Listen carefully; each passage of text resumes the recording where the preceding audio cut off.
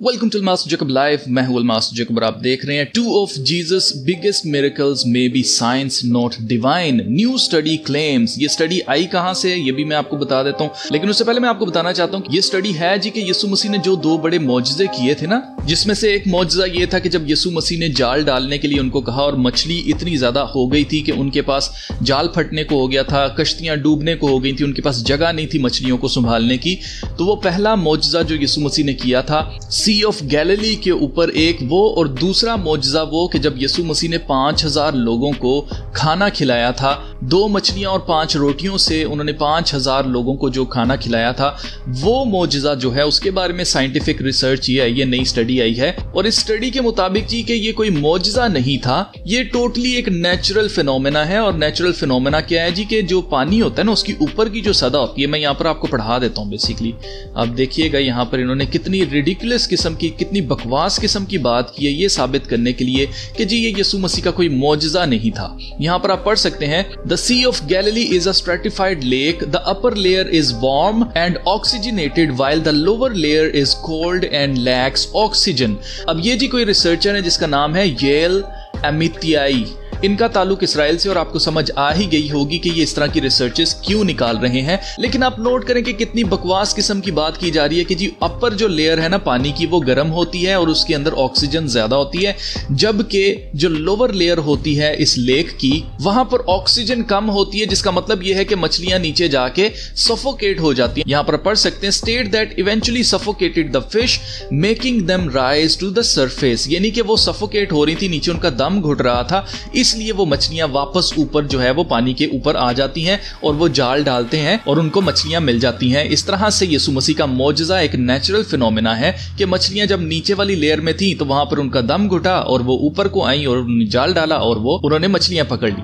तो ये एक फजूल किस्म का लॉजिक इन्होंने पेश करने की कोशिश की है, जबकि ये खुद ही साबित कर रहे हैं। इस आर्टिकल में मैं आपको बताऊँगा, ये खुद साबित कर रहे हैं कि यीशु मसीह ने मुआजा ही किया है। लेकिन उससे पहले मैं चाहता हूँ कि आप जरा खुदा के कलाम में पढ़ें कि खुदा के कलाम में क्या लिखा हुआ है इस मोजे के बारे में। आप देख सकते हैं, Luke chapter five, verse five में लिखा है, मास्टर साइमन रिप्लाइड, यानी कि शमाउन पत्रस ने कहा कि मालिक, we have work hard all night without catching anything.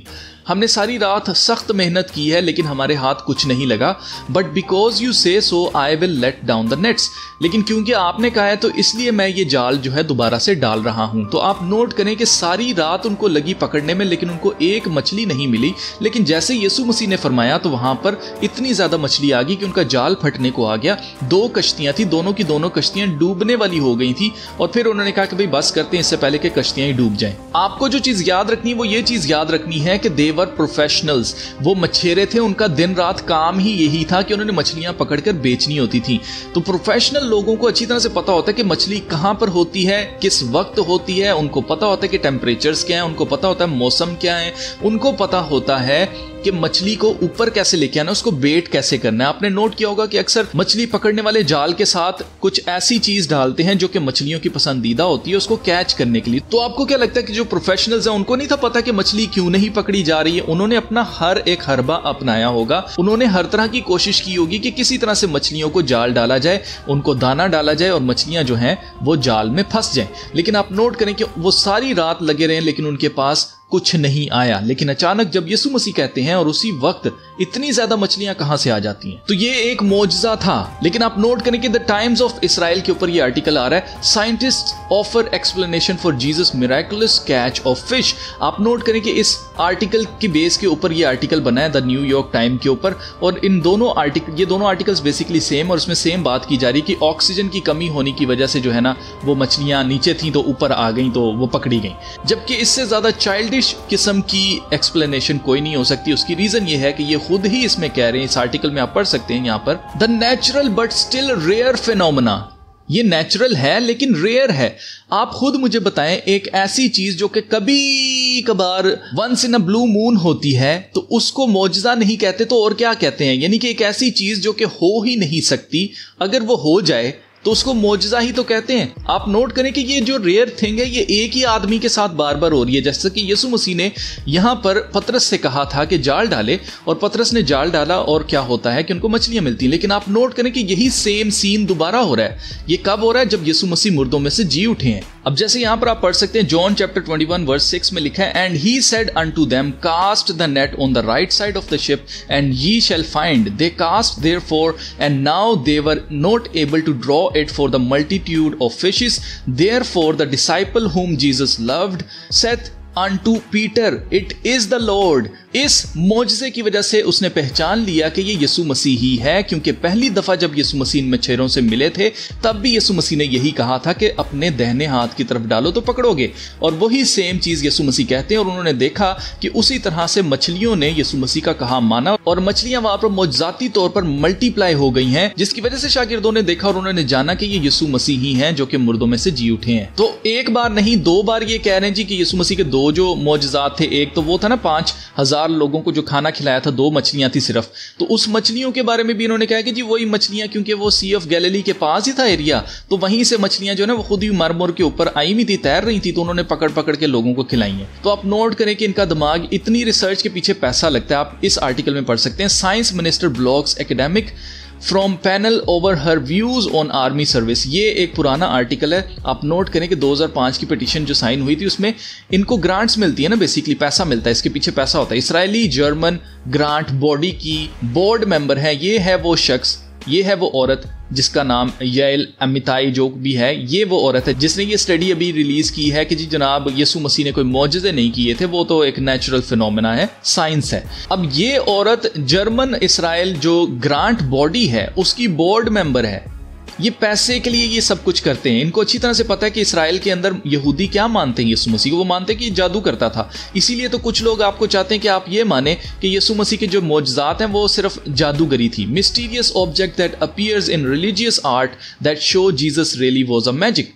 यहाँ पर मैजिक लिखा मैजिशियन लिखा होना चाहिए। लेकिन खैर, आप नोट करें कि इस आर्टिकल का मकसद ये था बताने का कि यसु मसीह जादूगर था, वो जादू करता था। और मैं आपको पहले ही इसके ऊपर वीडियो बनाकर बता चुका हूँ कि तालमूद के अंदर यसु मसीह के बारे में जो बुरी बुरी बातें लिखी हैं, उसमें से एक बात यह भी लिखी है कि यसु मसीह एक सोर्सरर था, एक जादूगर था।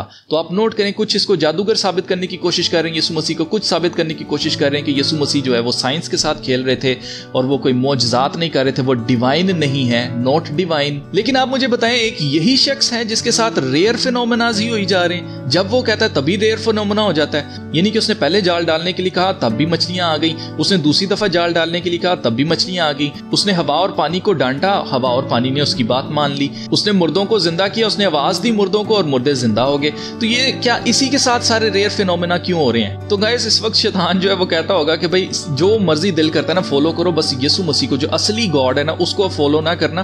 दुनिया में जितने खुदा हैं, बाकी मजाहब उधर जाओ, जो मर्ज़ी करो। बस यीशु मसीह को फॉलो ना करना। लेकिन अजीजों, मैं आखिर में आपको इनकरेज करने के लिए एक बात बताना चाहता हूँ वो बात यह है कि रोम के अंदर नीरो ने पूरा का पूरा रोम जला दिया था और उसका इल्ज़ाम मसीहियों के ऊपर लगाया था और बाद में मसीहियों को क्रूसीफाई किया गया और सारी प्रोसिक्यूशन की हिस्ट्री है, जो मसीहियों के ऊपर जुल्म सितम किए गए, उसके बावजूद मसीहत ख़त्म नहीं हुई।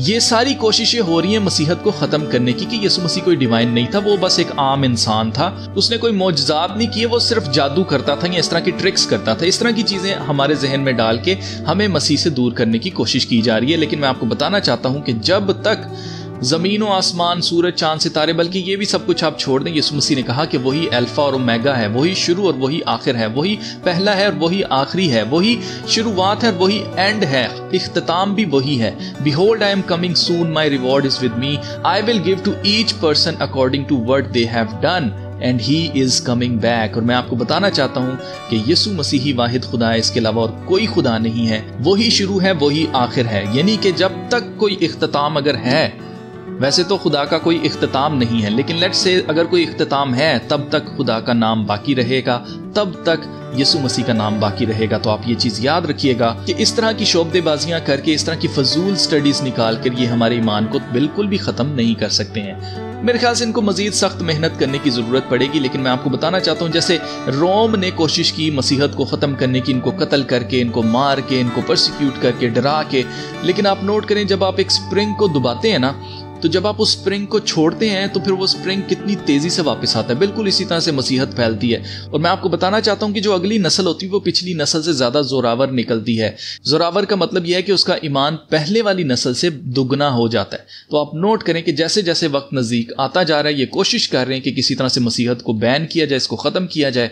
और आप नोट करें जी, साइंस के ज़रिए अब इसके ऊपर कौन बिलीव करेंगे? वही लोग बिलीव करेंगे जिनका खुदा साइंस है। वो ना तो खुद जाकर टेस्ट करेंगे, ना वो खुद इस चीज़ को ऑब्ज़र्व करेंगे, ना क्रिटिकल होकर सोचेंगे। लेकिन क्योंकि उन्होंने यीशु मसीह का इनकार करना है तो वो कहेंगे, जी, देखें जी, साइंस भी ये कहती है। लेकिन मैं आपको बताना चाहता हूँ अजीजों की ये जितनी मर्ज़ी कोशिश कर लें, जब तक ये जहान रहेगा, तब तक यीशु मसीह का नाम रहेगा।